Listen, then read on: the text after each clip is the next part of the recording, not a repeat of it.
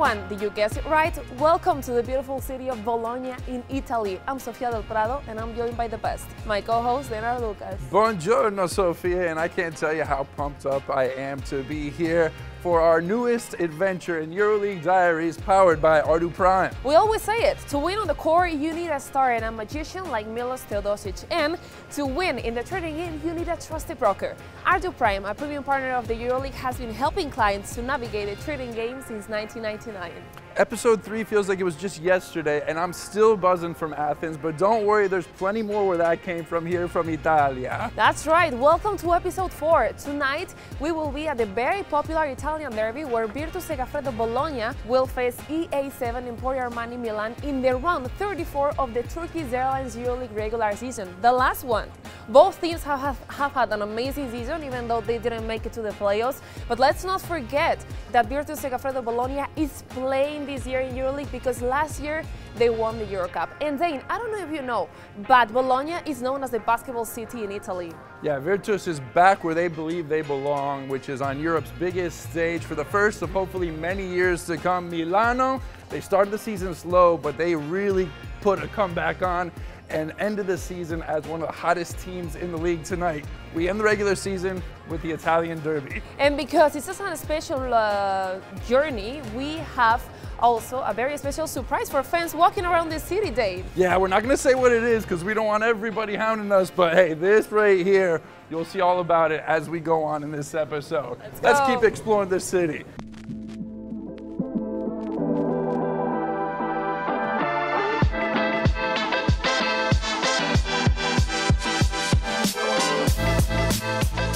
Our first must-see stop on the tour is the Piazza Maggiore, and this is the center of the city and the life of the city here in this square. Rain or shine, the restaurants, the cafes, they're always full of people. Absolutely, it's one of the largest and most beautiful piazzas in Italy and the architecture is just amazing. I can't believe how well preserved these buildings are and just to think that they are centuries old, it's crazy. Yeah, you know what, we've got the Palazzo Comunale right here. This is the Basilica of San Petronio, two staples of the city here in Bologna. And I don't know about you, but I love fountains in the piazzas. And here we have the Fountain of Neptune, that it adds such a nice tone to the atmosphere here. Yeah, you know what? If you come here to Bologna, you've got to stop by the square. And it's not just for tourists, all the locals around here too, filling this city with vibrant life. And let's not forget about the two towers nearby because they are such an iconic symbol of the city of Bologna. Do you want to see them? I do, but I'm starving. We're in Italy. When can we eat? Oh my God, it's so early. Wait, It is. We have a Okay, lot all to play right, ahead. All right, okay, okay.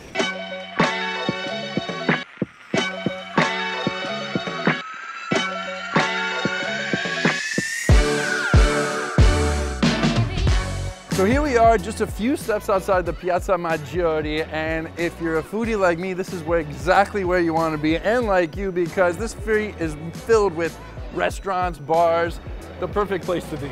Yeah, Dane, we can say that this is our spot. And I have to say that I love the authenticity of these tiny, narrow, crowded streets. Yeah, and this place is packed full of people, and we got a couple gifts to give away. So now our surprise is revealed because we have a couple of tickets, VIP tickets, to give away to some lucky fans walking around. All right, well, let's go find the perfect suitors Let's for go. these VIP tickets. Excuse me, how are you? What's your name? Gianluca. Gianluca. I'm Sofia. This is Dane. Are you from Italy? Yes, from Sicily. So let me ask you a little something. Do you like basketball? I do. And uh, do you have plans for tonight? I don't. Can we make your plans for you? Can we make your night for you? Okay. All right, Sure. so we've got a couple tickets right here. But Sofia, what are they? They are two VIP tickets for tonight's game, the Italian Derby. So you got lucky. Sure. Here you You go. want- Oh, do you want Just them? like that. course I want. Yes. Just okay. now you earn them. Oh, look at that VIP.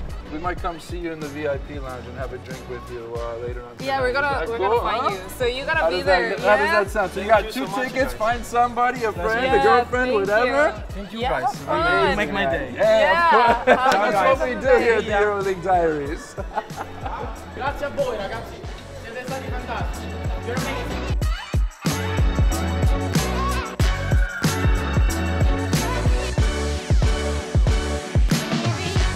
So here we are standing right in front of the two towers of this historic city and really what a sight it is to see.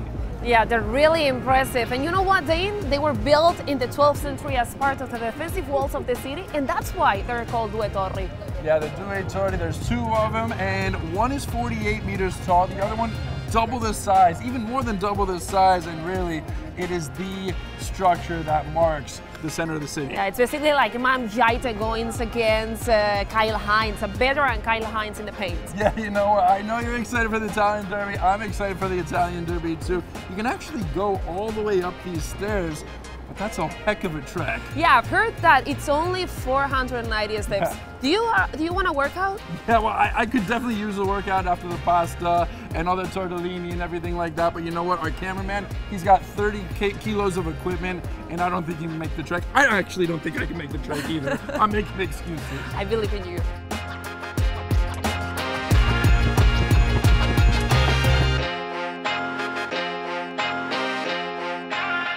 If you are in Italy, you need to eat pasta, but you also can learn to cook it. And we are in a very special place. We are in Arduina's house, Casa de Arduina.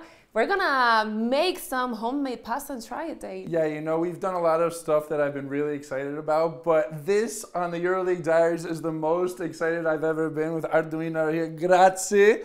Grazie for having us in your house. We're gonna make some tortellini today. She's gonna take us step by step through everything. First making the dough, then rolling it, then filling it, then cooking it. We're so excited Arduina. Grazie. Reina, the, the queen, the queen of Grazie. the tortellini, the queen of Bologna. Ecco, grazie. Okay, so let's go. Uh, you're you're the boss. You're the jefa. You're the boss. So you start. Ecco, grazie. Un uovo ci va un netto di farina ogni uovo. E poi con la forchetta si impasta, no? E rompete l'uovo che si amalga, no? Adesso non so se vi spiego bene, ecco. Look how gentle she is with it. I was like I was like getting in the with my fingers like an animal, like a Mongol.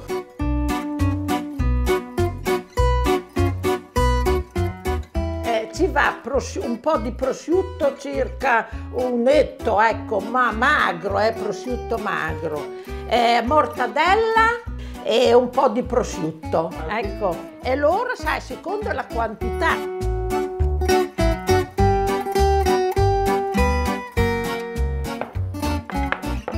So Arduina is actually the mother of uh, a guy named Maurizio Ragazzi, and he was a famous basketball player back in the 80s and 90s who played at Virtus Bologna, but of course, he's the second most famous in the family. She's the most famous in the area, in the neighborhood, in the city because of her exquisite tortellini. Se no viene, eh, se no viene tenero da un, grosso da una parte, ecco, gira ma ecco.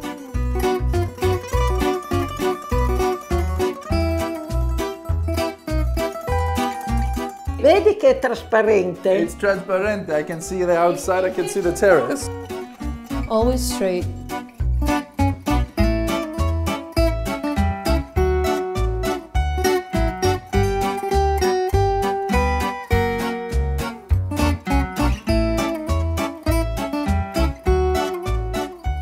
So we love competition, and uh, I want to do a competition with you guys to see who makes the best tortellini. Ez is gonna judge. So, are you ready? Let's see. Let's go. per fare il voto. Sì, sì, sì. All right, who is listening to Arduina the best? This one. This. This one's 10. Sì, What's that? Lei, lei. That's the- It's six Ecco, with vedi finger. che lei lo tiene Sì, sul tu ah, no. Brava, brava, ah, brava. Ecco, lei lo proprio tiene sul dito, vedi?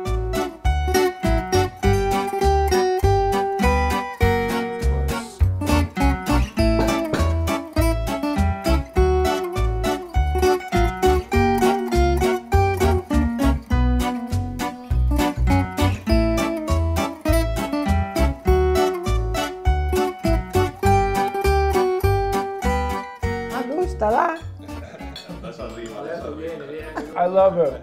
I love her. Arduina, thank you so much. Grazie A pleasure. Grazie. Niente. Grazie. I, I was there when you dunked on Tavares in Madrid. Longevity more than anything is Lundberg off to Hackett. Hackett to Bako. Bako with a nice Euro step. And Daniel Hackett, you see here, Bako with a nice move around Tavares. Who's the Who's the biggest high flyer in the on the team? That's me, of course. That's you. Yeah, He says he says it's him. Jordan says it's him. Days on me, it's on a good day. He got more consistently. I just gotta show You just got it on a good day. You're you're, you're way up above the class then, huh? No worries. No doubt about that. I feel you. Let, let's get a highlight tonight then, huh? Let's see ya.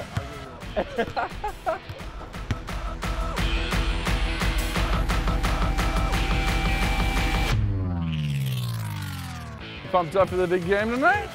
Yeah, it should be fun. We're pumped. up. We've never been here before, so uh, it's nothing like coming into the home, the home crowd, the other stadium, and just quieting down the home crowd, right? So, uh, We've already played each other three times this year. yeah, I mean, we all know each other, so yeah. it'll be fun game.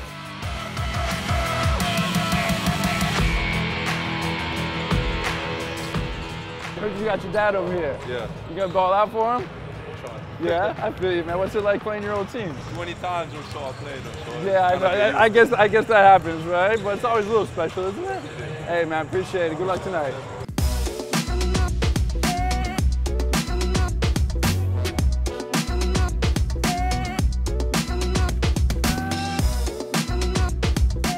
I'm sure you probably uh, played against my pops for a little bit. Joe Arlauckas? Of course. Yeah, man. Yeah. Remember all of the guys. I'm saying hello to a lot of guys that take your age. Right. But it's good. A lot of these kids, I played against their dad.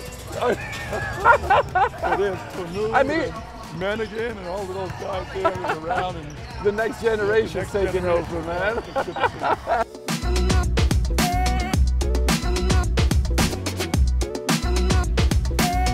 Where did you get that shirt? I want one. That was a limited edition. It's Limit- not available anymore. Did- no, really? It's not available. No. All right.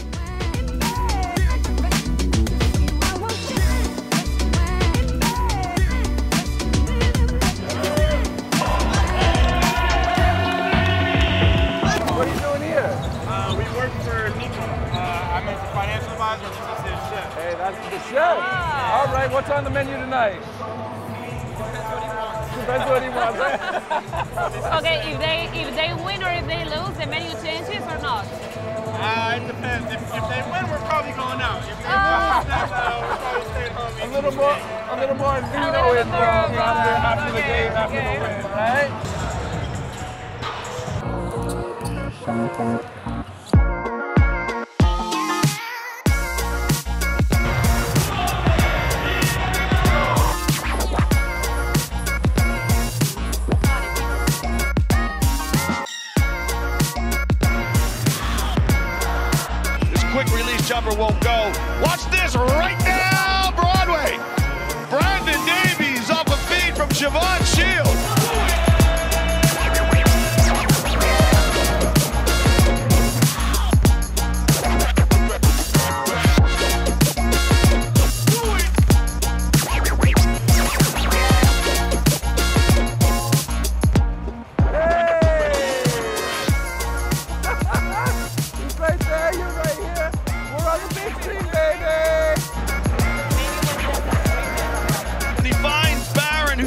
Things at the point in space, and he knocks down the three. Hang on to your hat. Here's Mam Jaiteh.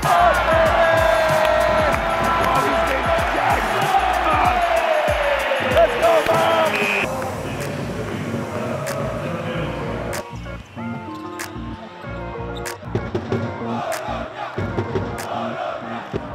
here in Segafredo Arena right now. And Jorge Armani Milan is leading the game by eight points. Virtus Segafredo had a little bit of trouble in the beginning of the second quarter, but they came back. Yeah, you know what? These fans have been on fire. They went cold a little bit, but hey, it's still an eight-point game. This is anybody's game right now going into the second half. And I'll tell you what's anybody. Well, that's not anybody. It's the VIP time, VIP baby. time. It's VIP. Let's go. So we are in halftime and we came to the VIP lounge and we found our guest. How, how's it going? Very well, guys. Really seriously, very well. I'm so happy. First half was great. Here you are at halftime. A little champagne, a little food. Couldn't be better than that, right? Totally. Yeah. Not a bad way to start your first basketball game live in the stadium, huh? Totally. totally. Oh man. Coming So, back for the next ones. Totally. Are Ready you- for you guys. you- You said you really weren't a basketball fan coming into tonight. Has that changed a little bit? Of course. Of course. Because of the ticket, you know.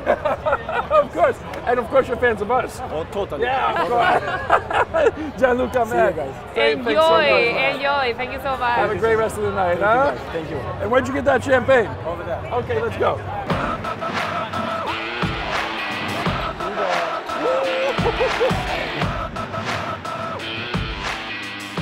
He's going to set a stagger screen here, I think, for Lundberg.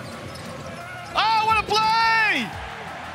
Daniel Hackett off the back of Shavon Shields. And look at the smile from Coach Messina.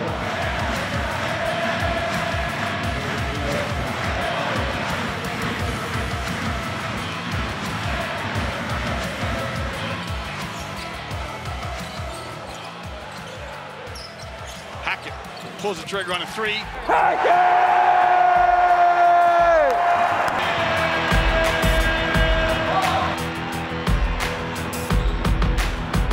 Pangos will hand off with Baron. Voigtmann in space. He's got a clean look at a three. To make it interesting, Johannes Voigtmann!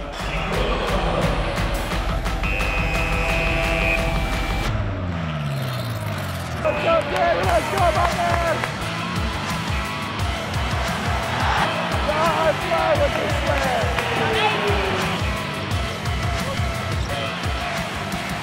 Back in round five, Shengelia just trying to tack on some more points.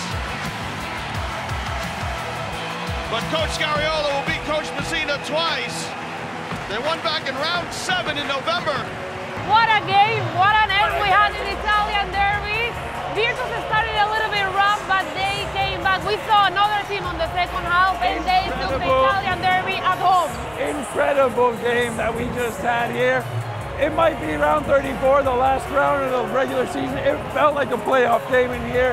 Daniel Hackett against his old team, 25 points in the win.